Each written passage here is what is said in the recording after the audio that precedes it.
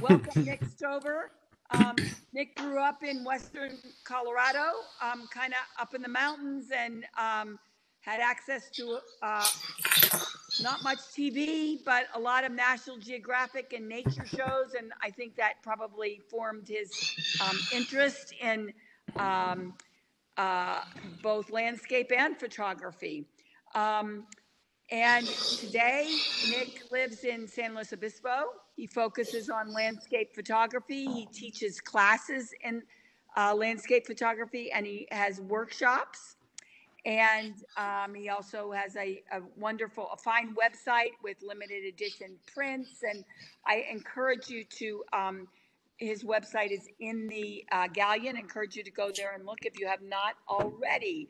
Um, he's traveled around the globe um, from Greenland to Patagonia, Alaska, um, oceans, deserts, nights, mountain photography. So um, it is, uh, I have looked all over his website. It's amazing. You are an amazing photographer, Nick. Um, we're so, so, um, this is just so amazing that you're going to be uh, judging for us tonight. We, we thank you. And I'm going to turn this now over to um, Jim. And, uh, but before I do, do you have anything you want to say to us, Nick? No, I just hope I live up to that uh, very nice introduction and this uh, the pedestal you've put me on now, Cheryl. Jeez. no, I appreciate it. Um, it's also nice to. Uh, I was telling my wife as I was kind of finishing up dinner tonight. She's like, "Who are you presenting to tonight?" I'm like, "Santa Maria." She's like, "Santa Maria, Santa Maria." And I'm like, "Yeah, Santa Maria, Santa Maria." She's like, "Oh, that's nice." Considering I uh, oftentimes do presentations and have conversations with people that are all over the U.S. and to be doing one uh, kind of in the backyard again is nice. So Yeah. glad to be here. Okay. Uh, Can I just make one comment? Can we all uh, mute our, our uh, computers? Because oftentimes there's something in the background we don't know about and then it just uh, is very distracting. Yeah, the, the only people whose um, mic should be on are mine and Nick's and uh, and uh, Penny's or, or and uh, Elaine's if they're both scorekeeping. Okay. And Penny's is off right now. Uh, Um, I'll go ahead and take the first, Okay. the first uh, thing, Penny, if you don't mind. Well, actually, I, I could only print out, um, the color list. Uh, So if you don't mind, Elaine, to be the black and white. Oh, that's fine. Black and white's a short one. I'm babysitting, so I may have to go. So, Okay. So, so uh, it'll work out. Yeah, so, so Nick, how, how, how we're going to do this is, um, I will do a run through of, uh, there's two categories. First of all, there's, there's uh, color and monochrome. Yep. For each of those categories, we'll do a run through so that you can see the images. And then we'll go back to the beginning and, um, uh, that will start the uh, judging part of it. That's where you'll look at the photos and judge them and uh, you know that we have a score of uh, 21 points maximum. Did- Yeah, did I've already I've already pre-scored everything. Great, So. that's, that's perfect. That's- Well, I was reading. I was reading my notes. I was supposed. To, I thought I was supposed to do that. Whoops. Yeah, That's fine. that's what, I have no idea whose images are it. Who's? Like I can't even play favorites. If one of you tried to submit a bribe ahead of time, I wouldn't even know which images they were. So uh, yeah, well, we did that kind of on purpose. yeah, exactly. Oh, my husband's back. So, okay, so I'm going to start now. I'll, I'm start sharing. Um, and uh, let's see here. Okay, let me, it takes a minute here for me to get some of these things off my screen because my screen's small and um, sometimes things get in the way. Okay, so now uh, here's, here's the, uh, let me go to full screen here. Uh, let's see, is it going to go to full screen? There we go. Um, okay, let me. I hope you can, yeah, okay. Um, so, so, uh, here's the first one. We'll just step through this.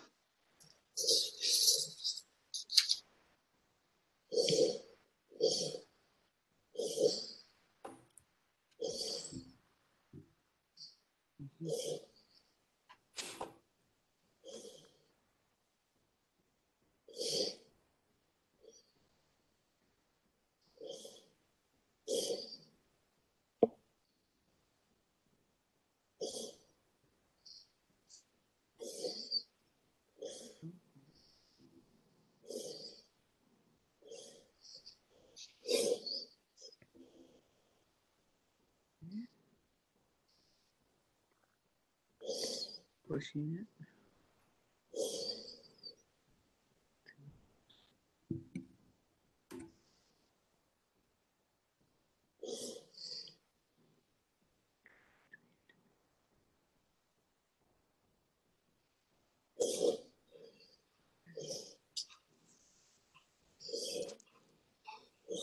Okay, so now um, we'll go through. Were these the images I was supposed to be sent? I'm sorry, Were these the images I was supposed to be sent? didn't you? This was what you were supposed to be sent. Didn't you get these? Uh, they don't. Yeah, I got these. I just wanted to see if you were paying attention. You All were right. surprised. These are the ones I judged. So These are the ones you judged. So now you can start uh, giving your, your your critiques and and scores. okay, Well, so the First, wait, wait, wait. I have to give the title first. Oh, that's right. I'm sorry. Okay, um, and this is 105 Freeway. okay, I didn't know I was giving the critiques first. I thought I was just giving the scores, but I can do that. So, um, Well, at this point, you can give the score and then tell us your critique. so do we want to go? Um, you want me to do the scores? You want me to do the critique and the scores together, or do all the scores and then come back and do the critiques? How do we? What's best for What you? we usually do is uh, the judge will give the critique, and at the end of the critique, he will give the score. Okay, great. All right, that sounds. That's a. I like that plan. Yeah. I'm on board with that. Okay. All right, let me pull up my score sheet. Um, so I have it to reference. So I don't have to. I don't make something up and all of a sudden, this one's a 65. What? So, okay. Um, so I liked. You know, this image was uh, image number one. So obviously the first one I saw uh, as I loaded them into Lightroom and took a look at it. Uh, there's a lot about this image that has a lot of um, intrigue in it um, of okay, I understand the car. You can see kind of the blurriness of the car lights. Um, I'm gonna turn this. Well, you can't see. I cannot. It's not my screen, so even if I'm pointing at something, you won't be able to tell. But um, the car lights, you can tell those kind of on the left. But what is actually creating the lights that are above?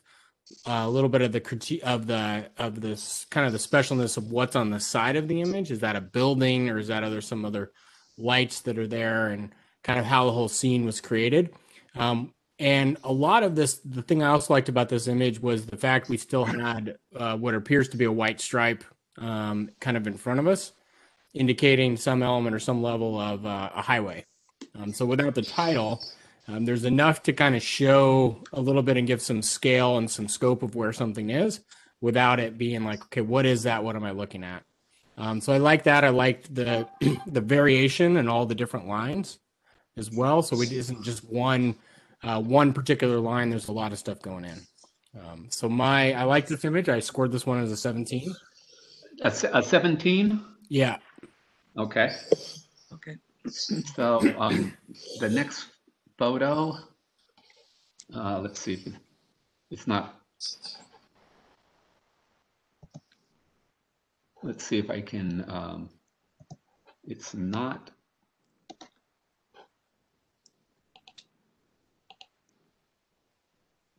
There we go. Oh, okay. Looks blurry.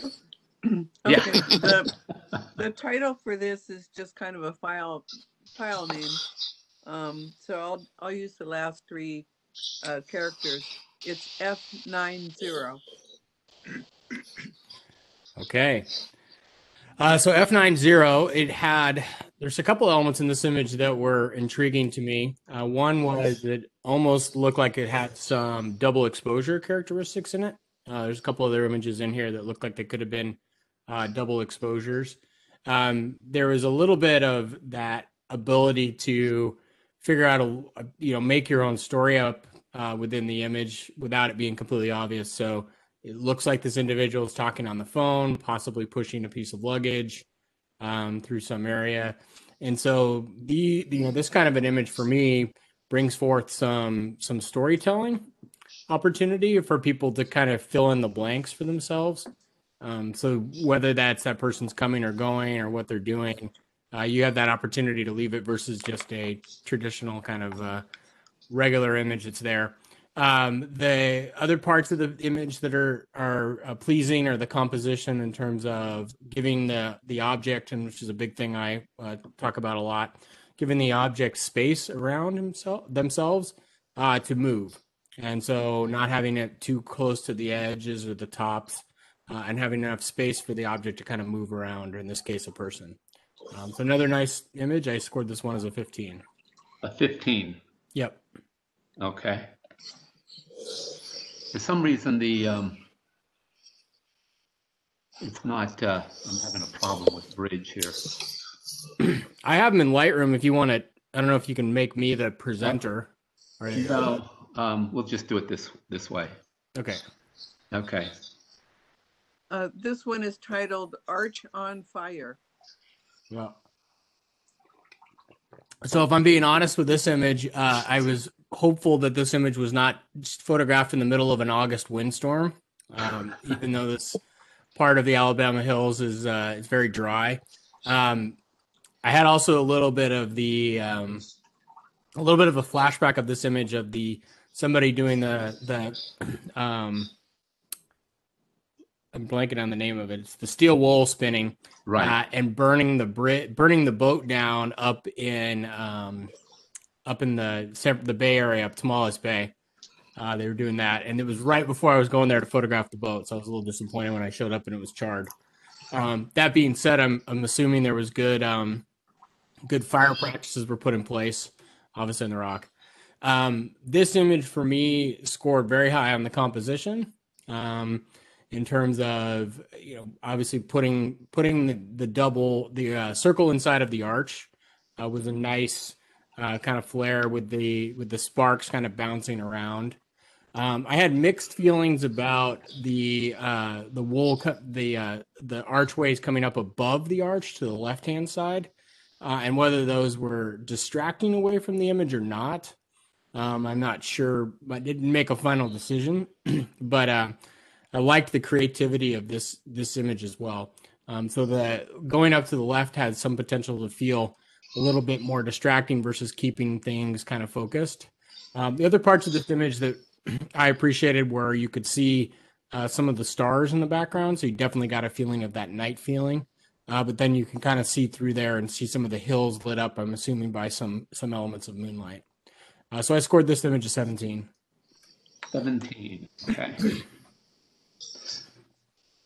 Avila sliding into the sea.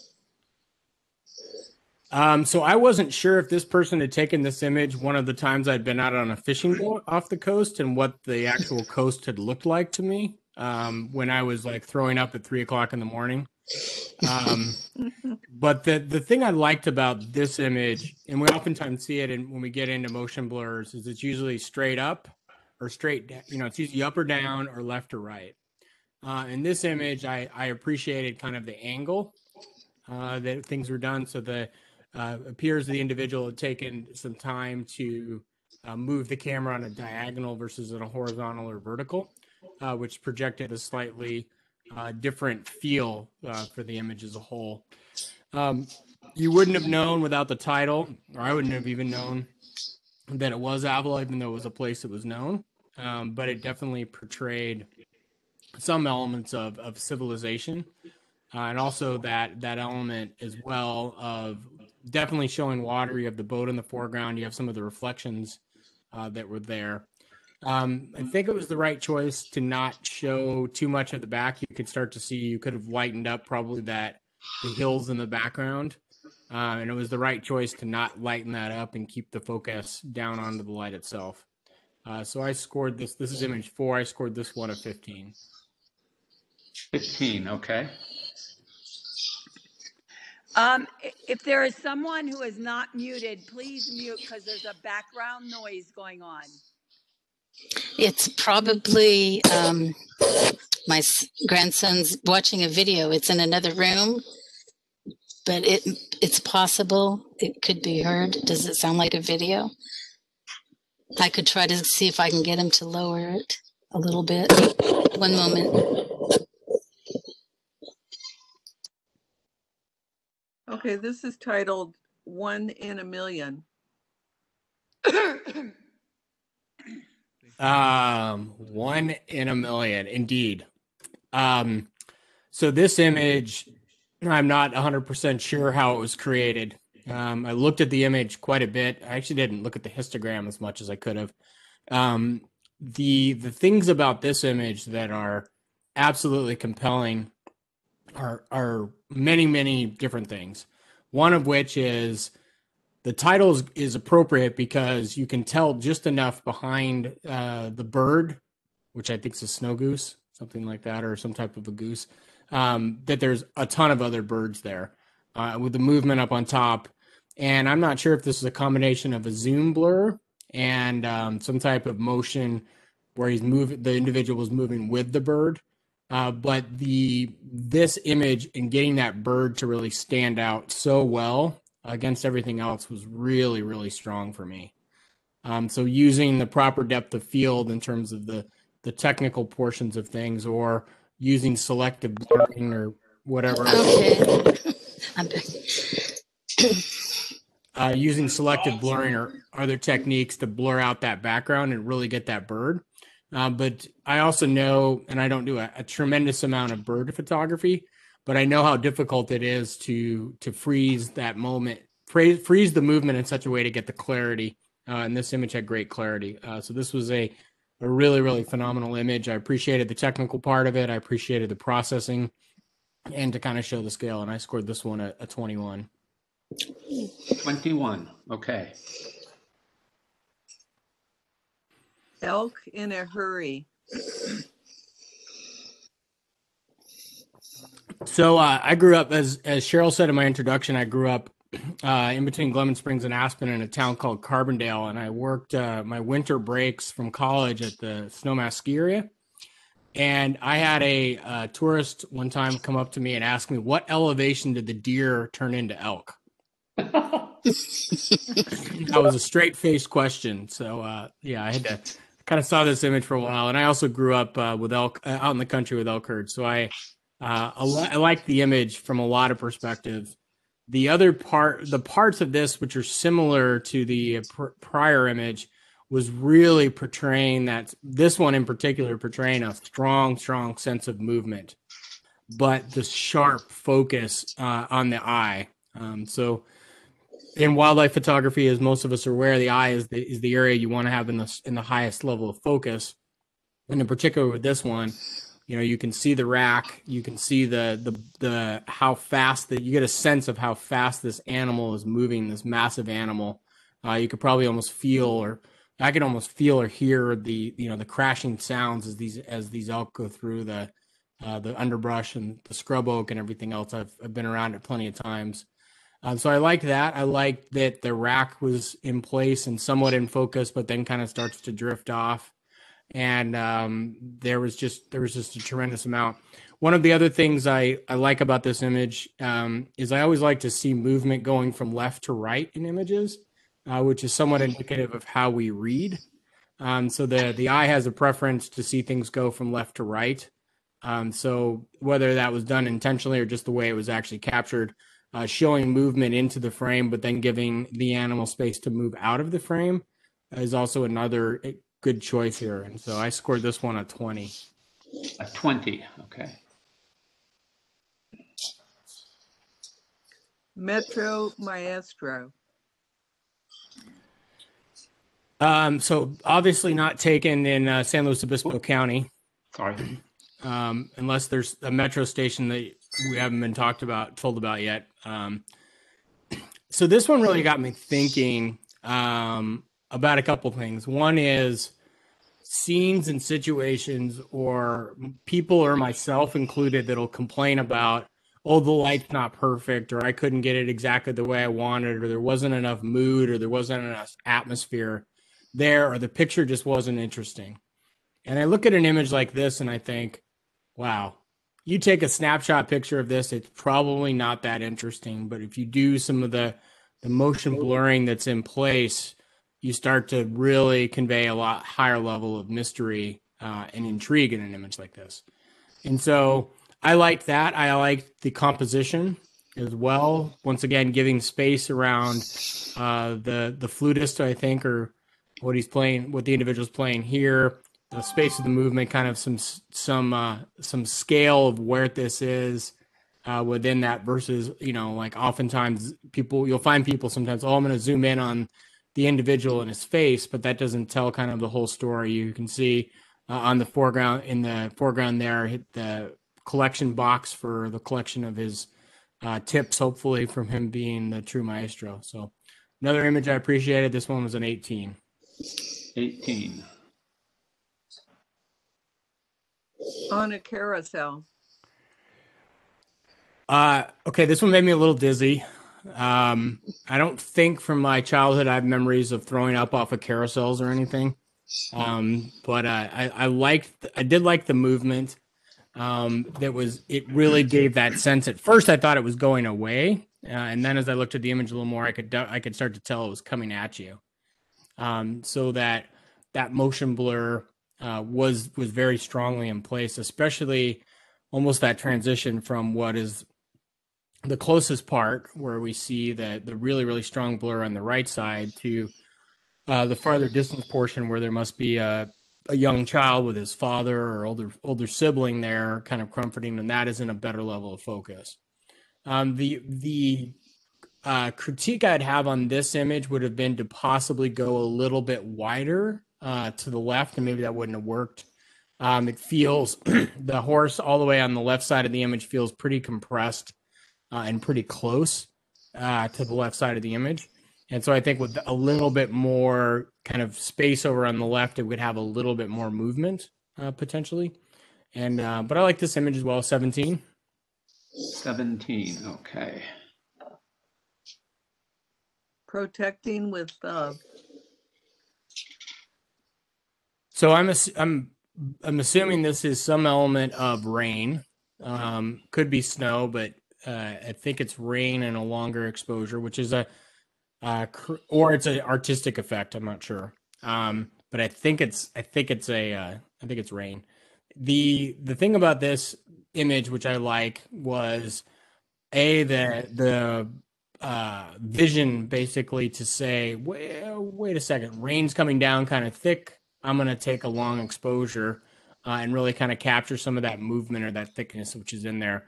Uh, I don't think I've ever thought about doing that, honestly. And I looked at this image and I thought, wow, okay, I could see that like doing a longer exposure because sometimes we get that really, really thick raindrops or hail or whatever things, and uh, that could be interesting. Or you could do it as an image stack. Um, good composition. Uh, once again, leaving space around the object uh, for the eye to move. So to be able to kind of fall around the lines versus feeling compressed uh, having the movement for the the moisture to come into and kind of land in the bottom of the frame versus things feeling good. Uh, so I scored this one a 16. Okay. 16. this is um, file number 218. So this is our same compadre, I believe, from earlier. He's off the phone and has unpacked his bags. Um, this one, similar thing. It was it's it's a different type of uh, the last the last image had more of the the horizontal movement up the left to right. This one seems to have more of that kind of vertical movement uh, as you go through the image. Um, a little bit tight with the the head on the top being very very close to the top of the image, uh, and then not seeing the full full scope on the left side makes the image feel a little bit compressed to me uh, especially for something that already feels a little bit blurry. Um, so I mean, obviously is blurry because it's that's the theme, and so I um, I scored this one at 15. Okay. 15. Pushing it. Yes. Um, so this one, this one is is an interesting because it's a it's a contrast of the abstract panning blurs uh, which focus on color or lines, and it's got some elements of the action panning or action blurring, uh, which are there's basically four types of blurring, and so I I like that part of it being both both uh, types of blurring. It showed the excuse me the intensity of focus even with all the blurring it really shows through uh, with this image uh, and that that portrayal of speed was very very strong. Uh, this is a left to right movement image, which uh, tends to feel a little better and like things are moving forward, like as I mentioned. And try that sometime, flipping the image uh, back to the right uh, and seeing the move the other way. And I'll be curious to see your your perceptions of it as well. So I like that. I liked the um, the real strong nature, but the fo- the face being you know something you can clearly identify. This is a a cyclist who's who's uh, not riding leisurely. He's on his way to get somewhere. Um, so this one is image ten, I believe. I'm sorry, what was that again? Is this image 10? 11. 11. Okay. 17. 17. Okay.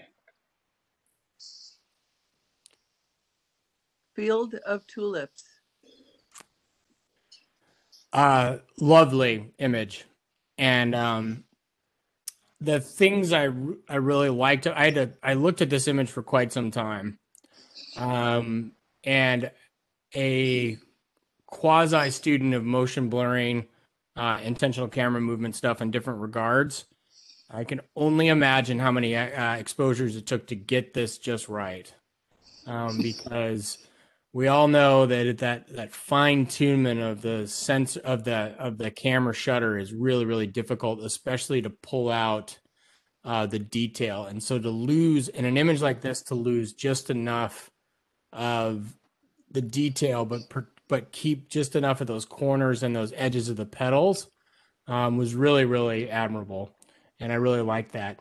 It has such a soft feel to it, uh, and there's so many great um, kind of lines and shapes that are within the image, and there's just a lot to like in terms of the color. Very pleasant uh, color that has a little bit of calming to me. So I scored this one a 19. 19.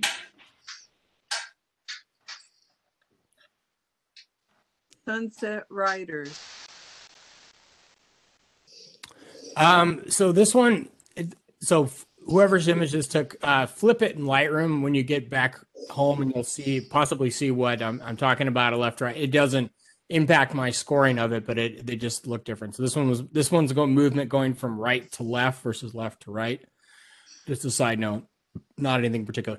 So this one was was great because you got some of the reflection, you got the movement without the solid, you know, the solid solidity, I guess you could say, or the solidification of the legs. But then there was on two of on one of the individuals, the woman in the middle, you can make out enough of her face to really portray some of the beauty uh, and the majesty, and then the individual on the left, you kind of have some some weird warping of his of his head and some other things which are kind of make it unique, and then the the complete blurring of the individual on the right. And so some of that disparity between the three of them. So this is one of the rules I talk about in composition called the rules of the rule of odds. And the rule of odds is this thing where the eye or the mind likes to see things in odds. And so one ones or threes or fives typically are going to people are going to spend more time engaging in those images than twos and fours. And the reason is that you can then compare the woman to the to the gentleman on the left, the woman to the individual on the right, one on the right all the way to the one on the left and you're kind of you're getting a lot of movement going back and forth in the image and so that's a that's usually a compelling part of it. And um, so I, I enjoyed this image. There's space on both directions for the uh, the horses to move into the frame without them uh, being cut off and horses to move out of the frame which is a good part of it as well. I scored this one in 18 18. Wandering between dimensions. I'm not trying to play favorites on the best title, but that one, that one took the cake for me when I saw the title. I was got a little freaked out by this guy. Not not not horribly bad. Um, so th- this image was was very interesting uh, when you looked at it from the standpoint of how is it created. Uh, there was some thought that was put into the creation of the image, both from the standpoint of the composition, in my opinion, where you have some symmetry between the left and the right, uh, framing in the the psycho Birdman or whatever portion of it is, but also either it's it's a double processing or even the way the camera captured or double exposure to have one uh, in the in the darker color, one in the lighter color. Um, so there's different story interpretations that could be going on of the battle between you know good versus evil or whatever else. And so I appreciated that about it.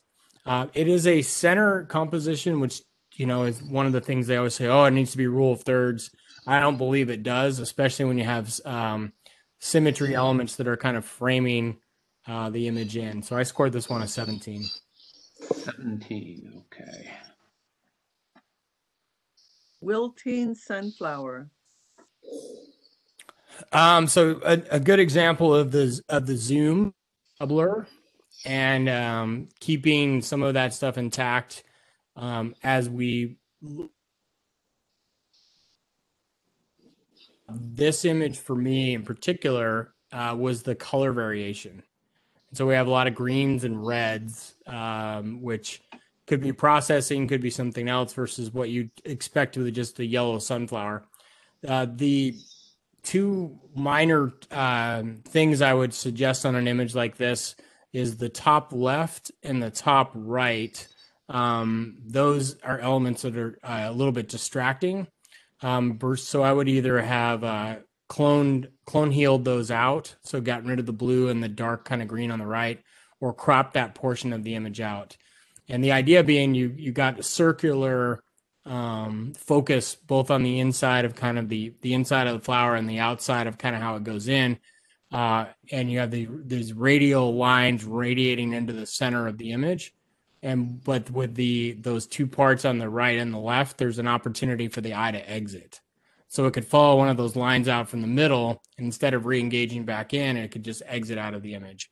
And so those two things could be fixed really quickly in in photoshop and that would be the uh, minor tweak i would make to that image uh, still enjoyed the image scored this one a 17 Okay, so that's that. And uh, our scorekeepers, what do we have Just here? a, just a moment. Okay, Okay, um, we have first, second, and third easy, but then we have a tie for honorable mention. And that would be number seven, Metro Maestro. number seven, Uh-huh. Yes, and also thirteen, Sunset Riders. 13. So between these two, Let's yes, see if I, to that's, choose an honorable mention. so these are the two for honorable mention.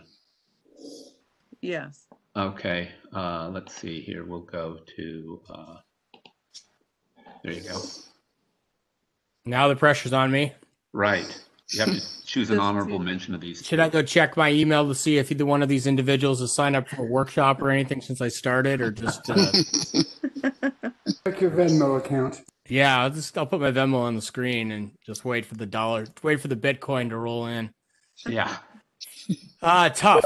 And I actually had scored these two um the same because I was wasn't we had uh one and we had 15, which would have theoretically meant one and a half honorable mentions if I was following the technical rules. Um, so I don't know if I get to pick half of the image that's half of an honorable mention or whatever, but I actually scored these two uh, the same for the reason of they both are interesting storytelling components um, of taking an image and a slightly different way. Rule of thirds on uh, rule rule of odds on both of them. Uh, interesting parts of, of an activity that that are going on. So uh, I think I'm gonna have to go with the uh, the horse riders though, the Sunset Riders, Number 13. number thirteen. So Okay.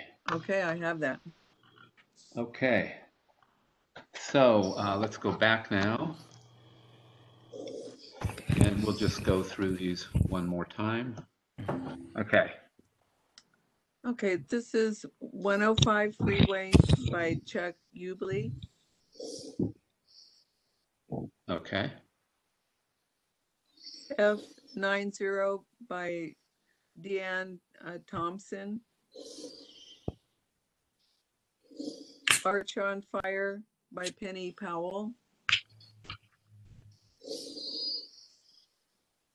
Avila Sliding into the Sea by Gregory Doudna. One in a Million in first place by Elaine Calvert. Hey, Hey, I don't know who Elaine is, so I didn't Thank play you. favorites. Thank you. Nice job, Elaine. All right. Oh, Elk in a Hurry in second place by Nyla James. Yay. Iowa. Metro Maestro by Cheryl Decker. Nice one. On a Carousel by Tony Martindale.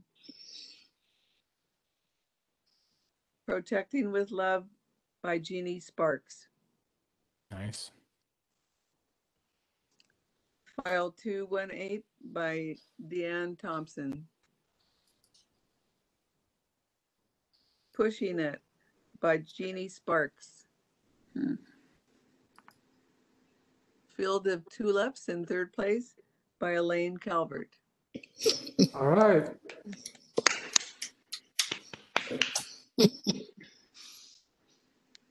Sunset Riders and honorable mention by Penny Powell. All right, Penny. Penny, Penny. Wandering Between Dimensions by Gregory Doudna. Wilting Sunflower by Tony Martindale. All right. That's nice.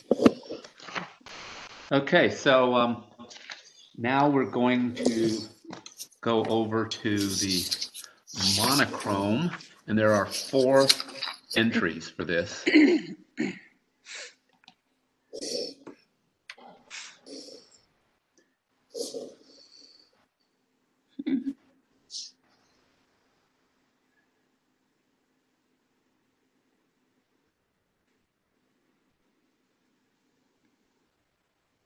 Oh, I like that. That's interesting. Okay, so there's our run through. So, so we'll start with the Put that in. This is titled Aspen Abstract. Okay. So uh, I just got back from three weeks photographing the aspens in Colorado, actually, and um, I the abs I I did one abstract that I was not very happy with. I did a couple pan zooms, or me, some abstract uh, panning zooms that I was a little more pleased with than the uh, my actual abstracts.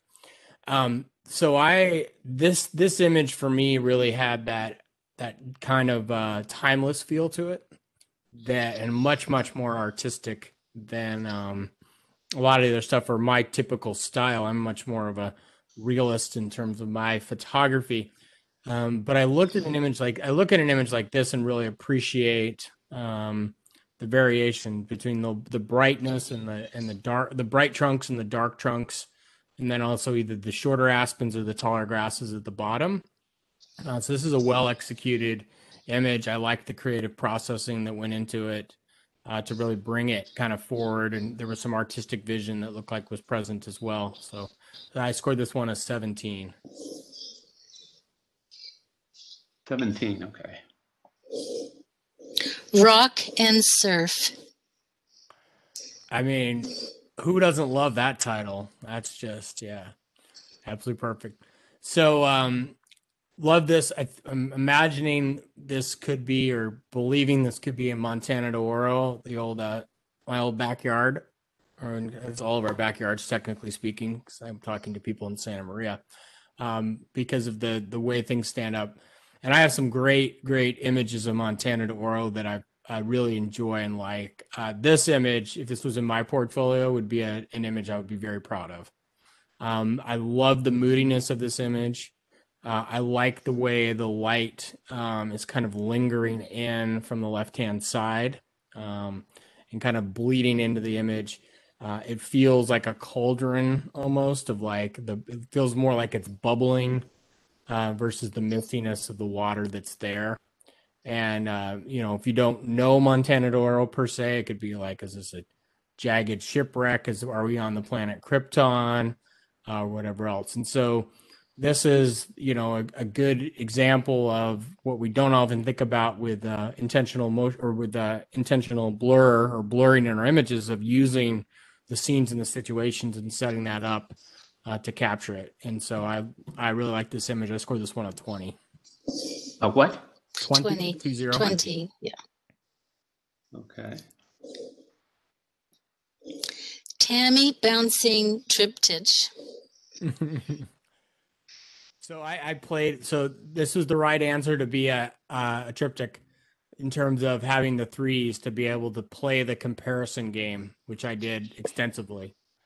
Um, so I was like, wait a second, why is all of the the uh, the plaster pulled off on the left, but it looks like she's standing in the same place in the middle and the right, but the plaster is actually there.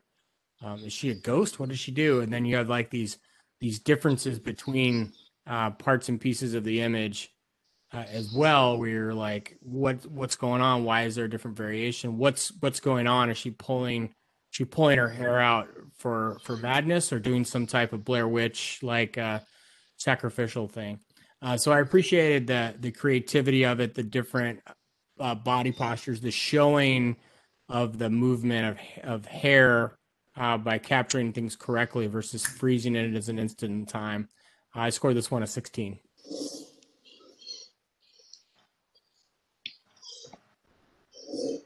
Velodrome number 23.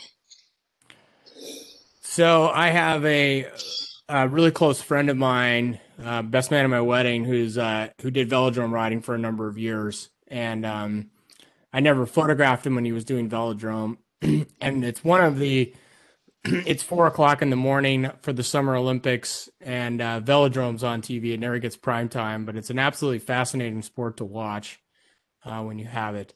So this image in particular was really, really um, excellent selection and choice of how it was processed. Um, the choice of black and white made this image much more powerful to me um, versus you know cycling uniforms are always time very color just because of all of the lines and the circles that were present and the way that the the, the camera picks up that motion blur of how quickly they um, how quickly these cyclists are moving and makes it look like they're you know projecting or protruding out um, things out of their tires essentially like they're like what is going on? Why what what are those things there? It almost looks futuristic. Um, and the portrayal of speed uh, the movement both from the standpoint of the individual on the left having space to the individual on the right having space to move into uh, and not having distractions within the elements. Uh, so not if you process this image in color there'd be distractions of the track there'd probably be color variations you'd be distracted in so this was an excellent choice uh, in black and white i scored this one a 21 21. Okay, that does that. Yeah. Uh, we have no ties. Okay, So let's, let me go back here.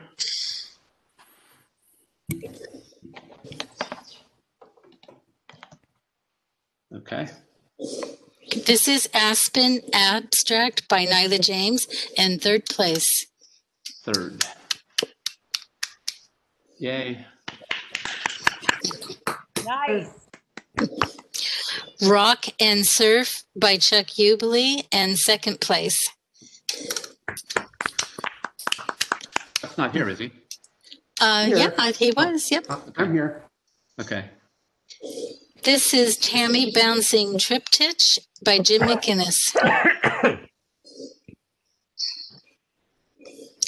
and Velodrome number 23, our first placed by Jim McInnes. Oh, very nice. wow Love that. Great. Uh, yeah, really cool. Right. I have a So, question uh, for Jim. Okay, I'm going to stop sharing. Okay, very good. Um, Question for you, Jim. Did Go you ahead. photograph the cyclists in Italy? excuse me? Did you photograph the cyclists in Italy? No, this was in um, Dominguez Hills in, uh, at the, Okay, uh, yeah, they I have know a there's big uh, up there, too. sports complex at the college. Yeah, I, I just, yeah, I know there's a velodrome there. I, I've been to the velodrome in Encino. I've not been to the one up there. You have to, you have to speak up Uh, or sit closer, Ed. We can't. Okay, I, I've been to the velodrome in Encino. I haven't been to that one that you've been. Yeah. I, I know you've been to Italy and I thought, wow, maybe that's Velo Vigorelli in Milano. One of my bikes was built by a builder that had his shop. They, they don't, you don't have a ve- velodrome in Venice. Pardon? I say they don't have a velodrome in Oh, yeah, Venice. yeah, but I thought maybe you'd gotten to Milano also, You or asked. maybe it had been there, but, uh, yeah, my, the guy that built one of my bikes, his shop was under Velo Vigorelli. Yeah. Okay, anybody have any comments or anything? Um, I just thank you for the for the great critiques. Um, really appreciated. Um, I, I liked uh, your thought process and and the explanations that you gave. Well, thank you. Yeah. Very, I have, I have a comment on, uh, Metro Maestro, if I may. fire away. Yeah. Fire away. uh, Each time that came up, I liked it a little bit more, uh, and I'm not uh, real sure why, but uh, there was something about it that that uh, held my attention a little bit better each time I saw it. I thought it was a, a real nice image, Cheryl. Thank you so much. Yep. Yeah. Yes, show it again. Yeah. Show it again. Show it again. For some reason, it look, it looks darker on the projection on this one than it did on our computers. I don't know. Which, which one was it, Ed? Metro Maestro. Number seven. Uh, What, number what's the number on it? Seven in color. Seven. Seven. Tony, you tell him. Yeah, yeah, that was there was a lot of nice images tonight. Yeah, it just, you know, I mean, I think I'm kind of like, I think the impression I got from our judge tonight, I'm kind of, you know, I don't generally go for the blur and- the stuff and the manipulated stuff. I like more of the realistic view, but uh, I think in this case, the loss of detail and just the softness in there lets our mind wander into the activity and the mood that's present and what this guy's trying to do. Um, and it does, it, it just grows. I, some of you know, I, I do a lot of photography of musicians and they, they seem to like my work, but this, this is not something I would do. And I think it's very, very nice. Yeah. Well Thank said. you. It's nice coming from you. I'd like to hear about the one in a million and how that was, uh, image was, uh, accomplished. So that would Well- num- number five. Let me bring up number five here. Um, that was taken, um, we went to, um, Bosque del Apache, um, taking pictures of the geese. And, um, I was trying to get pictures of, you know, the blurred geese instead of a sharp image. Um, and I was just fortunate enough that this particular goose isolated himself enough where I could lock in my focus on him and just pan with him a little bit. It was a very short pan. It wasn't a long pan, but um, it was enough to um, separate him from the rest of the flock. And yeah, it's something I practice doing a lot, panning, and I've had a lot more um, unsuccessful images than successes. it's a it's Well, it's a, it's a striking image and I, uh, I just wondered what the technique was. So thanks for sharing that. Thank you. I, I missed half of the critique because that's when I had to, to go check on my grandchildren. But um, I, I know probably something was mentioned about it traveling uh, to the left. Maybe I should try flipping that one too. I didn't want to criticize it because I like the image so much, but yeah, that was. I think I did say try flipping it just to see what you think of it because Yeah. yeah, the, the flipping thing. I like the. I have a uh, image of a, a moose crossing in front of the Tetons at sunrise, which is uh the moose is moving left to right. I could never flip that image to go right to left because the Tetons would then look completely out of whack. Oh, yeah, it's so recognizable. Yeah, Yeah. versus this image, you know, nobody would ever know if, they- No. if the goose was actually going left to right or right to left or anything else. And Yeah. Hey, Thank you. That's a good uh, suggestion. I will do that. Nick, I, I, Elaine. Nick, I have you. a quick question. Um, could you just, you said there are four types of blur images. And I really would like to know what the, what are those four images? Can you give us a, like a five minute thing on that? Yeah, so I actually, I don't know if you can give me power to share or if that's like you, you have to come back for a fourth time before you get power to share. I put together a little um, reference sheet. Um, so I don't know if it's possible to. I think we can do that. If not, I can just email it to you later. Uh, let's see here. There should be a way. Please share. Yeah, all, all you have to do is share, I think, Nick. All I do, it's not enabled. So it's okay. Super tech. Yeah. So it's it's uh it's not enabled on my screen. To, it's not enabled on my little thing here. So could be just the setting. I don't I don't blame you for not giving me that power. So um, the the four types are zoom blur. Uh, that is where you use your lens to execute, uh, and that gives some of that element of like viewing down a subject down a tunnel. A tunnel. Uh, so when you're zoom blurring, you're focusing in on trying to isolate and focusing on one element, and then blur, and then you're taking the long exposure and you're turning your zoom either in or out. It doesn't seem to matter for me whether I go in or out. I kind of still get the same effect. And then if you do it correctly without slapping your tripod around, you should be able to keep what you're focused on in focus, uh, which is good. The next one, which is the most common, is subject blur. And that is where you're blurring some aspect of your subject. And that is most common what we see with water or clouds. Uh, but I would also say, um, as I was going quickly through my portfolio and picking out like 10 or 12 images that I felt uh, showcase blur, that there was, uh, that's also something I would consider star trails. Oh, now I'm the presenter. Yeah, there you go. Still can't share for some reason. Probably because I just installed the WebEx today. Ah, Probably was going to make me restart or something. So sorry about that. But okay, so I'll take it away from you then. okay, good idea. So I don't want that much power to go to my head. Um, but then the other part of it, which I would add on to subject blur, is the concept of controlled subject blurring, and that that is like night photography shooting the Milky Way, where you're taking the blur of something right up to the edge before it becomes uh, something that's not almost essentially not usable. Um, so with Milky Way, you're trying to push the thresholds to be able to keep your stars pinpoint, but then get enough of the light. So it's like a, it's like a selective blur. Uh, what's going on? Uh, the third type is abstract panning blur, and it's a way to explore colors and patterns. Uh, and in that one, that is where you're typically doing either uh, side to side, like horizontal or vertical blur, or vertical movement of the camera.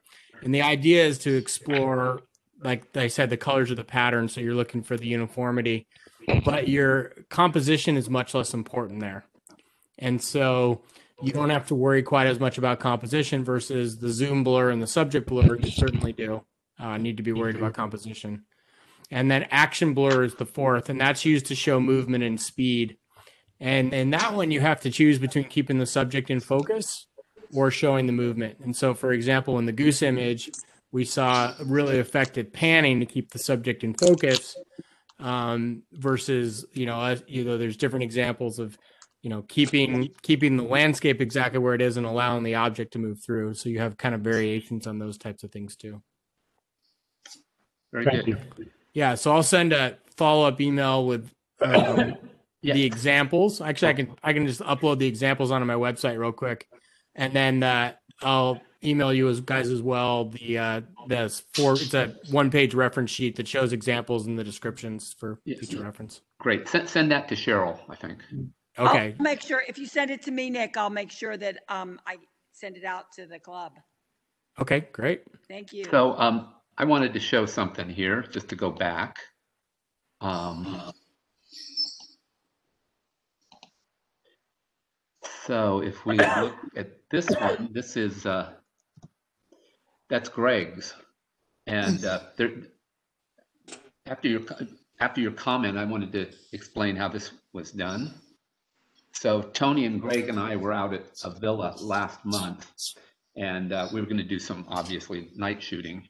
And um, Greg had forgotten his tripod, so I, I, I had an extra tripod, which I loaned to him.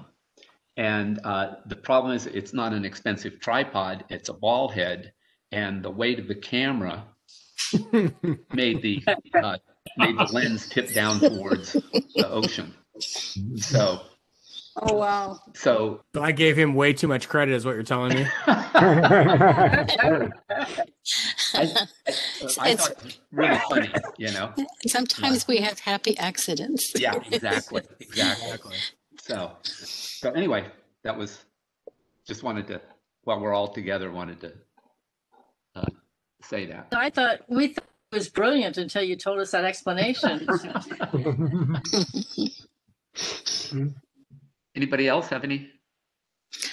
Well, I, I would just say that in addition to the panning intentional movement with the camera, um, you can also um, take the, the camera and just kind of shimmy it or shake it. I mean, it doesn't have to be an exaggerated movement.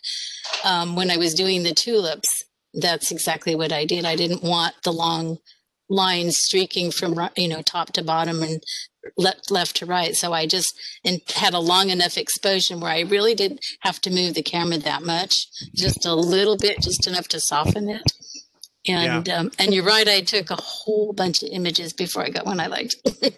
Yeah, I think against a camera movement in the film days would have been something I probably never would have done. yeah, If it- had to take- yeah.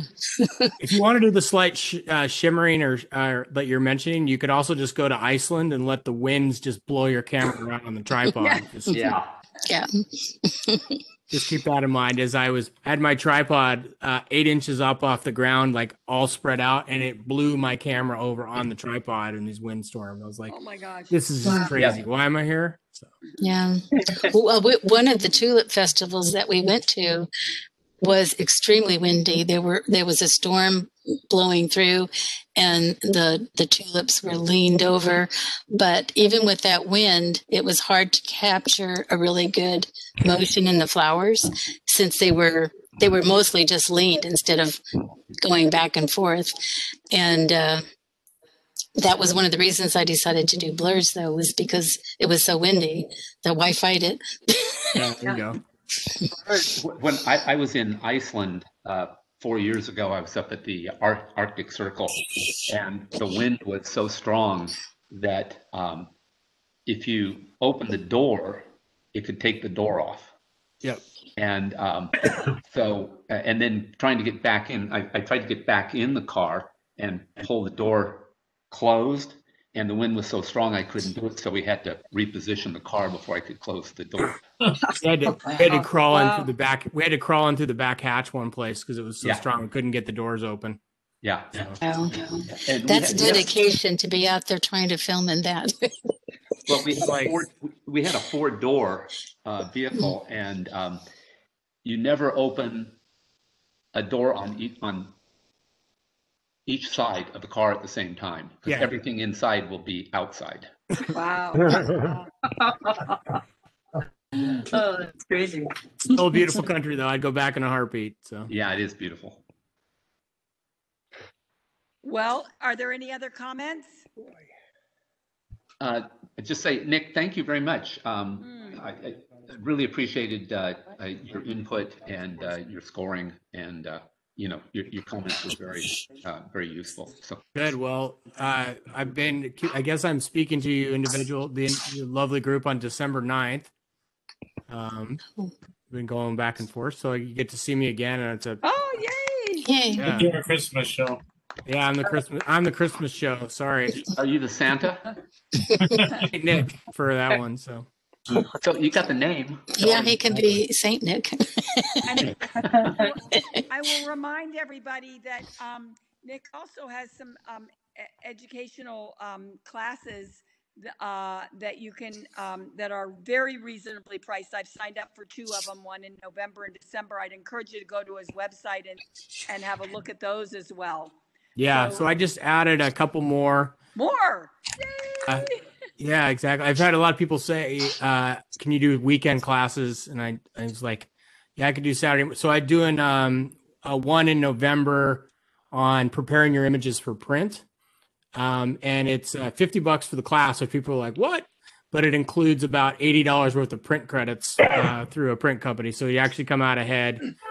And the other thing we do is we prepare. It's the class size limited to twelve people. Uh, so it's not a lot, and we prepare an actual your, actual images for print uh, for a 16 by 20 metal for free, and then um, and then you get a copy of my printing workflow. Um, so that one, so it's it's really really helpful going forward on how to resize to almost any size and how to properly brighten your screen and I mean bright, brighten your images to reflect what it wants to look like. and then I'm also doing another one on uh, mastering Lightroom.